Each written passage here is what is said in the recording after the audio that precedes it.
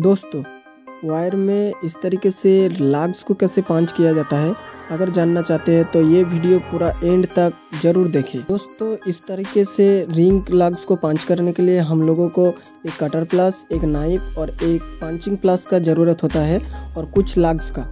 हम लोग four M का तार लिए हैं वर्किंग के लिए तो इसके लिए हम लोग सिक्स एम वाला लाग्स को यूज़ में लेंगे। ये लाग्स का नाम है रिंग लाग्स पहले दोस्तों, हम लोग कटर प्लस या नाइफ के मदद से कुछ इस तरीके से तार को छील लेंगे। उसके बाद दोस्तों रिंग लाग्स को कुछ इस तरीके से तार में घुसा देंगे। उसके बाद दोस्तों पंचिंग प्लस के मदद से हम लोग पंच कर देंगे कुछ इस तरीके से। देखिए। इलेक्ट्रिकल का और भी नॉलेज लेने के लिए बी एस इलेक्ट्रिक को सब्सक्राइब ज़रूर करें और बेल आइकन को प्रेस करके ऑल पे सेट करके ज़रूर रखें। धन्यवाद। फिर मिलेंगे अगली वीडियो में।